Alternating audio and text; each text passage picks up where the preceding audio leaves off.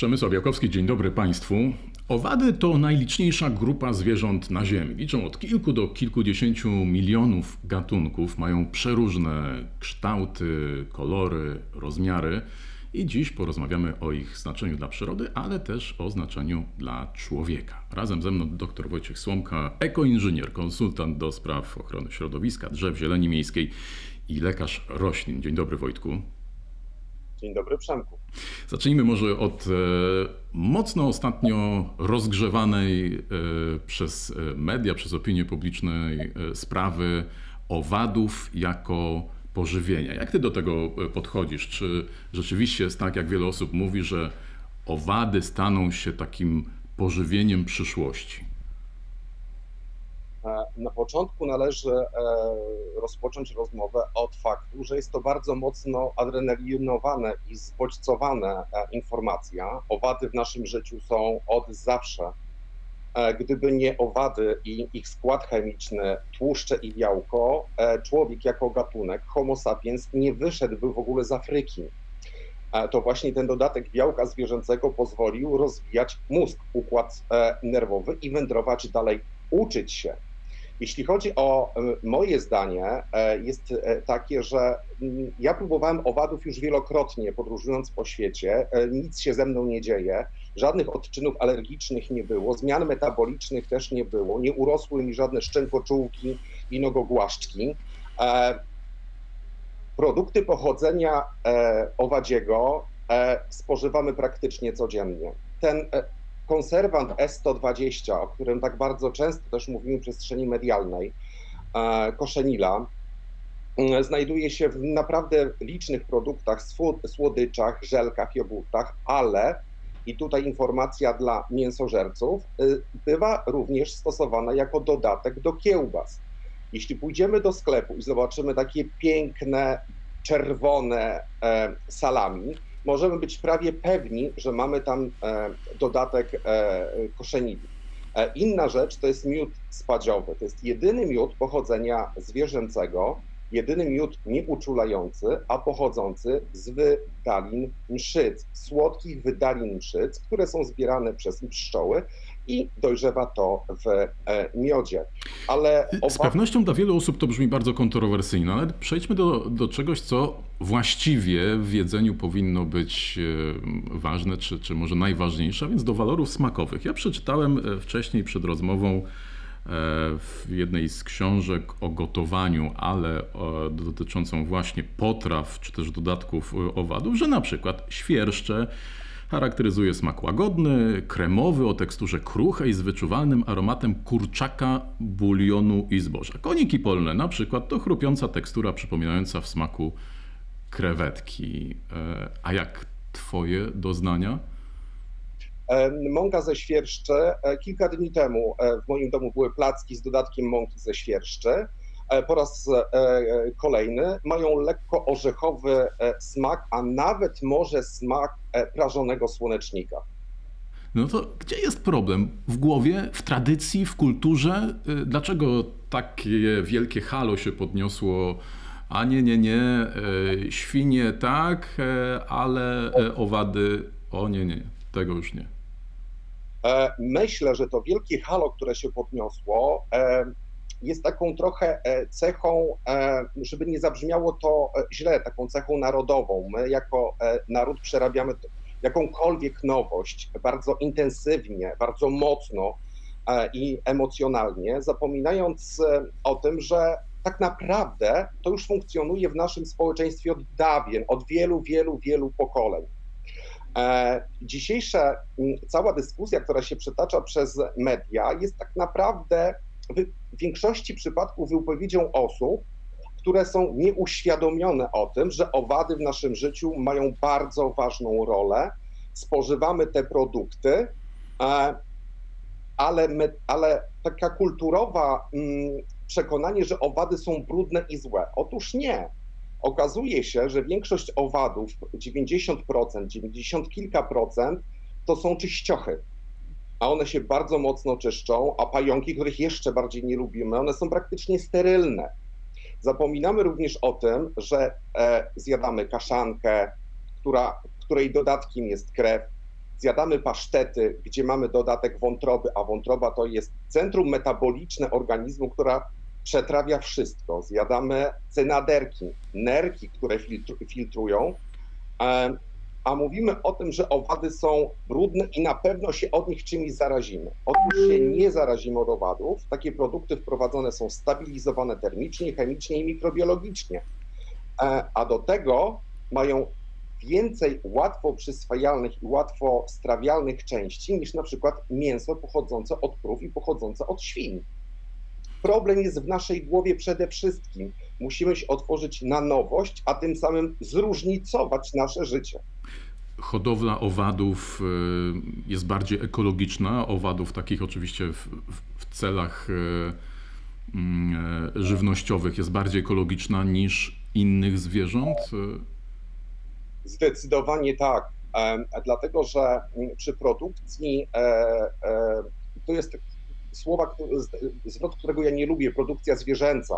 To jest automatycznie takie traktowanie zwierząt e, przedmiotowo, ale jednak zostańmy przy tym, że może hodowla zwierząt, hodowla zwierząt, które my spożywamy, tych kręgowców, bardzo mocno wydłuża cykl troficzny czyli od tych roślinek przez następne e, rośliny aż do, aż do, nas, aż do nas, do naszego e, organizmu, a hodowla owadów skraca ten e, cykl troficzny i pozostawia więcej przestrzeni dla natury.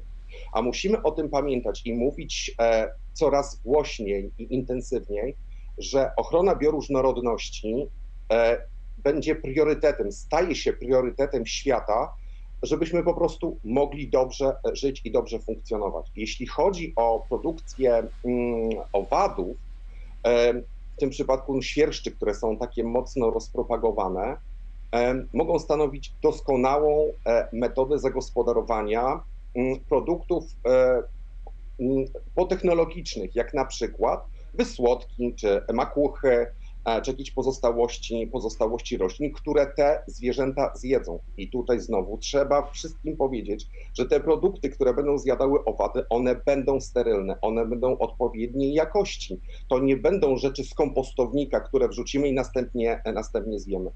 Produkcja owadów, mniejsza ilość zużytej wody, mniejsza produkcja e, gazów e, e, cieplarnianych, no i przede wszystkim dwutlenku węgla, porównując produkcję wołowiny z produkcją świerszczy, przy produkcji świerszczy praktycznie nie mamy metanu, a produkcja wołowiny, jeden z głównych elementów produkcji tego gazu cieplarnianego na świecie. A co z wartościami odżywczymi? O, to jest dosyć ciekawe i fajne, e, fajne pytanie. E, przeprowadzono takie badania na 80 gatunkach owadów popularnie spożywanych e, na świecie. Ogólnie mówi się o tym, że około 2000 gatunków jemy na świecie, na tych 80 najbardziej popularnych, i okazuje się, że są dosyć kaloryczne. E, w, 100 gramach mają od około 300 do ponad 750 kilokalorii właśnie na 100 gram produktu. Mają dużo białka. Przy białku należy się chwilę zatrzymać. To jest białko lekkostrawne lub łatwiej strawne w porównaniu z białkiem zwierzęcym. Mówimy, że w zależności od technologii tego białka w, e, w tej klasycznej mące ze świerszczy czy z mące z owadów może być od 60 nawet do 80%, ale to jest odpowiedni ciąg technologiczny wzbogacania. E, mało kto o tym wie, że mąka ze świerszczy jest bardzo bogata w siarczki, które są przeciwbakteryjne i przeciwgrzybicze to już starożytni Egipcjanie i Rzymianie wiedzieli o tym i stosowali jako lekarstwo. Mają dosyć dużo witamin e z grupy B, no i mają mikro e, i makroelementy. Coś, na co cierpi świat. E, brak wapnia, odpowiedniej dawki wapnia w świecie. Owady to mają i łatwo przyswajalnego. Spójrzmy na badania. Osteopenia, osteoporoza zaczyna zbierać żniwo owady mogą być taką pierwszą e, alternatywą e, do likwidacji tego problemu.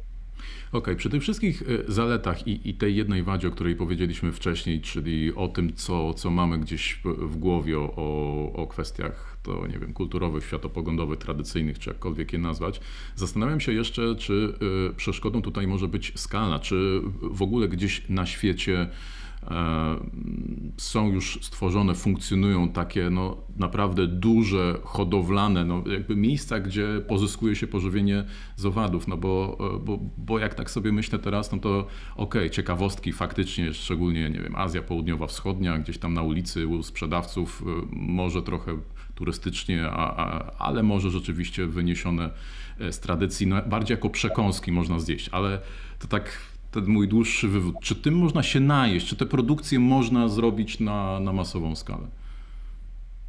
Obecnie na świecie nie notujemy takich wielkich koncernów produ- produkcyjnych, e, jeśli chodzi o produktów e, owadzi, jak na przykład no, produkcja kręgowców z ssaków. Są to mniejsze, mniejsze zakłady, bardziej lokalne, ale na dzień dzisiejszy mówimy o tym, że owady stanowią dodatek. Czy można się będzie tym najeść? E, przy modyfikacji diety, przy zwiększeniu udziału e, roślin w naszej diecie, do, dodając tą mąkę, dodając owady, dodając produkty pochodzenia e, owadziego, no może okazjonalnie mięso jak najbardziej. Wegetarianie, weganie żyją, funkcjonują i nie są kosmitami. Okej, okay, no dobrze, już najedliśmy się tych owadów, a teraz przejdźmy do do innych kwestii, no bo wspomniałeś o tym też na samym początku, że e, owady są obecne w naszym życiu do, no właściwie od samego początku. E, I my korzystamy z ich pracy. Chyba pierwsza taka rzecz, która przychodzi na myśl, to jest, to jest oczywiście miód, to są, to są pszczoły. No ale tak, tak sobie myślę teraz na, na gorąco. No, pewnie jeszcze jedwab, też bardzo cenna, cenna rzecz dla nas. Gdzie jeszcze? Może w takich bardziej nieoczywistych miejscach owady nam pomagają w tym, tym naszym codziennym życiu? W sądownictwie, w kryminologii no tak. jest cały, cały dział e, entomologii e, sądowej i na podstawie mm, e, diagnozowania gatunków, które rozwijają się na zwłokach, czy to na zewnątrz, czy podwodnych, czy na pozostałościach, czy na przykład w formach rozwojowych ustalamy czas e, i miejsce zgonu. E, żywe opatrunki. E, to przyszło samo z natury. Pierwsza wojna światowa, dużo ofiar, brak leków, ale zauważono, że u żołnierzy, którzy mieli ropiejące rany, zaczęły rozwijać się larwy much i te larwy much zjadały tylko tą nadgnitą tkankę, ale co ciekawe, nie ruszały włókien nerwowych. Swego czasu w Polsce było to naprawdę propagowane, E, w pewnym momencie po prostu to dziś zaniknęło, a na świecie to funkcjonuje. E, musimy również dodać i powiedzieć, że biomedycyna, mało kto o tym wie, że prace nad sztucznym ludzkim okiem widzącym barwy zostały rozpoczęte na podstawie budowy oka muchy. Staw biodrowy, sztuczny staw biodrowy, kinetyka tego stawu została opracowana na podstawie kinetyki ruchu odnóża karaczana. Nazwijmy to popularniej karalucha. Poznanie genetyki, e, poznanie cukrzycy typu e, tej genetycznej cukrzycy zostało rozpracowane na podstawie tych małych muszek owocówek, które latem fruwają w naszych mieszkaniach, w których zdiagnozowano zmutowany gen. I tutaj ciekawostka, zmutowany gen odpowiadający za cukrzycę genetyczną mamy identyczny jak ta mucha. E, kolejna, kolejna rzecz to są muchy w, muchy w kosmosie, badania nad grawitacją. E, e, ruch skrzydeł muchy też posłużył do budowy samolotów, tych nowoczesnych samolotów, stabilizacja lotu, bo muchy w ogóle pokonują ciśnienie, to jest, to jest w ogóle dosyć ciekawe. Budowa muchy, noga, nogi muchy pozwala, opra, pozwoliło opracować w nanorobotyce czy w robotyce poruszanie się tych małych robotów po ścianach, jak przylgi. Takich przykładów naprawdę możemy mnożyć, a trwają naprawdę od kilku lat bardzo mocno zaawansowane prace nad diapauzą. Owady w pewnym momencie określone owady potrafią zasypiać. Okazuje się, że geny, które znajdują się w owadach, odpowiadające za diapauzę, są bardzo podobne do naszych ludzkich genów. I teraz trwają e, prace nad tym, czy jesteśmy w stanie uaktywnić te geny, czy może zmodyfikować, a może podawać odpowiednie preparaty, żeby człowiek mógł przejść w stan diapauzy i obudzić się na przykład po kilku latach. W podbojach kosmosu genialne. No za nie mówiłem. Przyznaję. Słuchałem, a tak sobie teraz myślę, że to chyba już nie skrzywdzę żadnej muchy od tej naszej rozmowy. Jeszcze jedna rzecz mi przyszła do głowy. To, to, to też jakby mocno w tematyce ekologicznej. E, znowu zastanawiam się, czy na, możliwe na szeroką skalę, ale na pewno ciekawe. E, niedawno pojawiły się takie wyniki badania o tym, że e, niektóre gatunki owadów są w stanie wchłaniać, no, jeść mówiąc kolokwialnie, plastik, więc to dopiero brzmi niesamowicie. Więc wydaje mi się, że te zastosowania właściwie się nie kończą, tylko my jako ludzie powinniśmy no, dowiadywać się, odkrywać, jak jeszcze te e, organizmy mogą nam coś ułatwić, pomóc, czy jak możemy się na nich wzorować? E, e, tak, mikroplastik, musimy go bardziej podzielić. Chodzi o nanoplastik.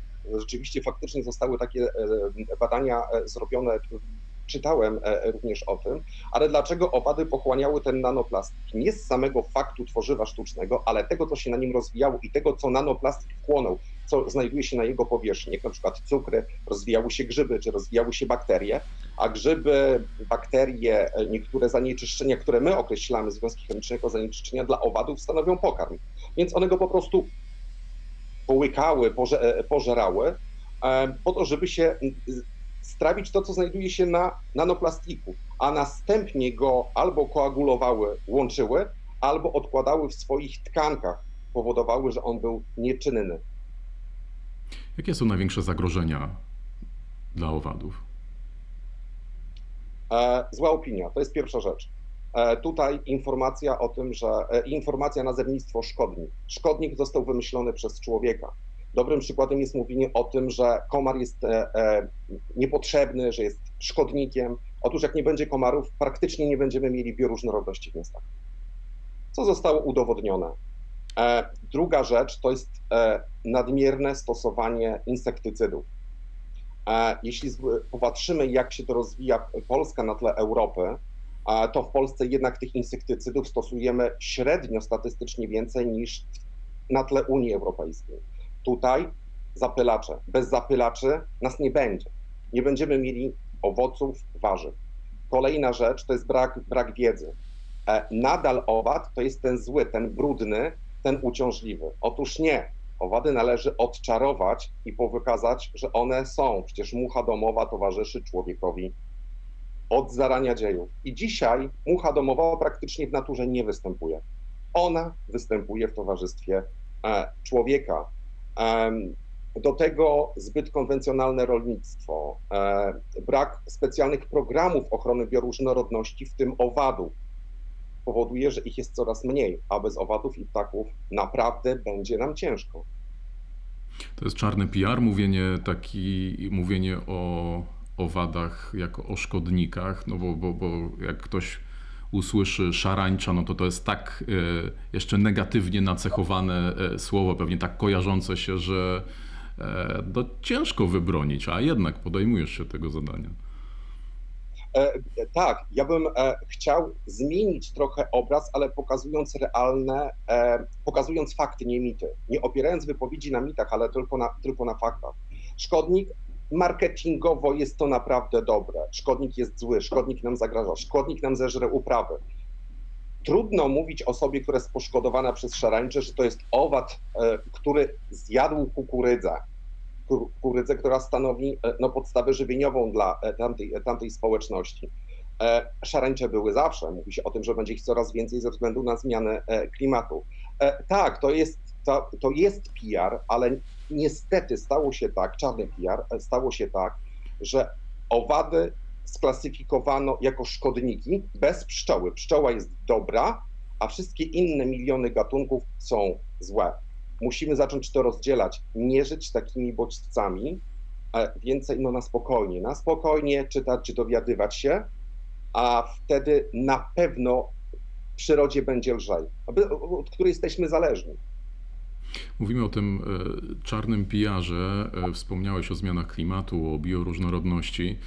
Mm, a na ile no, człowiek, obecność człowieka, no nie wiem, być może często taką datą graniczną jest początek ery przemysłowej, no wpływ, wpłynął na to, co, co dzieje się z owadami, e, jak ten świat owadów się zmienia, na, czy, czy to da się w jakiś sposób e, określić, bo no wiemy, że to są miliony gatunków, ale e, no pewnie te gatunki znikają. Tak samo jest e, z, przecież z innymi gatunkami wszystkich zwierząt właściwie.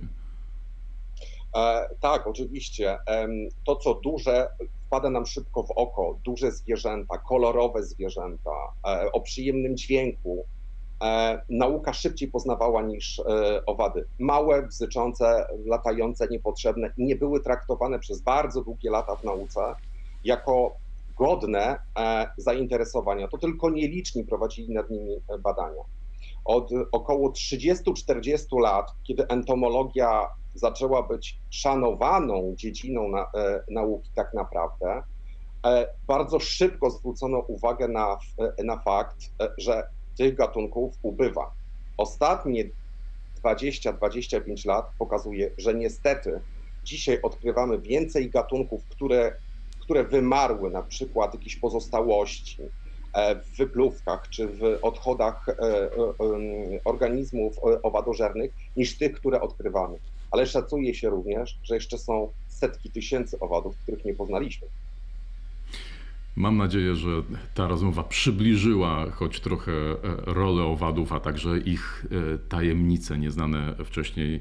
Pięknie dziękuję. Dr Wojciech Słomka z pasją opowiadał o owadach w naszym życiu. Wszystkiego dobrego Wojtek, bardzo dziękuję. Do usłyszenia i do zobaczenia. Dzięki wielkie. E, Państwu też dziękuję. Zapraszam, zachęcam do oglądania kolejnych odcinków wideokastu w Zielonej Interii. Przemysł Białkowski. Kłaniam się. Do widzenia. Do zobaczenia.